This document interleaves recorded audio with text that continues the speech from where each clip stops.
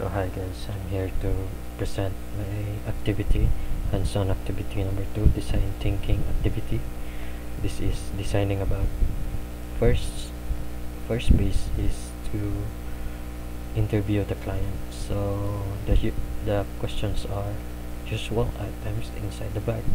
So first is her pen, alcohol for sanitation, tissues, umbrella for when the weather is bad, and keys. So the other question is items left to put in the bag. So that's uh, that is a phone and a face powder. So what is what are the emotion in, embedded in the bag discovered? So I discovered that it's a gift from her husband. So and number two it's one of the her most used bag so same time. so this is the bag. It's old it's been used already multiple times and that's it. So phase two reframe the problem so my client was my mother. So what is your partner trying to achieve. To have a shoulder bag at the same time also a handbag and to have larger compartments so that she can fit fits the items that she needs to go when she goes to town and many more. So insights. What are the insights? So since it's a gift and it's a bit old now so she needs a new style of a bag with larger pockets or compartments. So needs a way to have a new style and larger bag uh, this is uh, more on her so that her shoulder bag is small when she fits her things and it gets too heavy so need to make the bag larger so that the items could be fit properly and have more weight to have more uh, less to make it less heavy. So this is the phase 3 in phase 3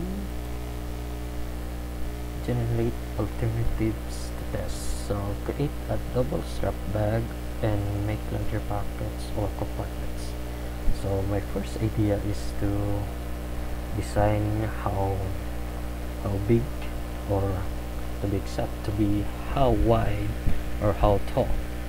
So it's going to be 16 inch to 16 inch wide and 10 inch long. So the bag is going to be double strap. So it should it could be a hand handbag or a shoulder bag. So for the compartments the front and the back the, the front compartment is more like a pocket so that for easy access for things like alcohol or pens or any other stuff for the back, back, back compartment it's going to be more like a zipper type bag so that can seal other other products like uh, beauty products or other stuff. So the inside compartment is for more uh, these two pockets right here is for phones. Phones or something else. This pocket this compartment here it's more like a zipper type for so that you can put your so she can put her wallet and other stuff here. And this is gonna be more like the bag is will be more like a zipper type and it could be easy so that it would be more easy to access and easy to open. So solutions so in my feedback. She wants to see my prototype design. So wants to be a bit unique in design and easy to look at the bag so the color and other stuff. So next phase is phase 4 so phase 4 this is the final prototype design of the bag it has the first strap to be a handbag and the second strap to so that could be a shoulder bag. And it has a adjustable on it. So that it could be adjusted properly in the shoulders. So the weight could be balanced. And a pocket in the front for easy access for your items phase 5 so I mean the final product I mean the final prototype of the bag this is what looks like. The first strap the second strap and the pocket. So face or final face so share your solution and get feedback. What worked so what worked is the larger compartment fits in the things perfectly? So like the umbrella because it's a bit big and the strap were nice and adjustable adjusted nicely so it was easy to adjust for the weight to balance out for your shoulders and so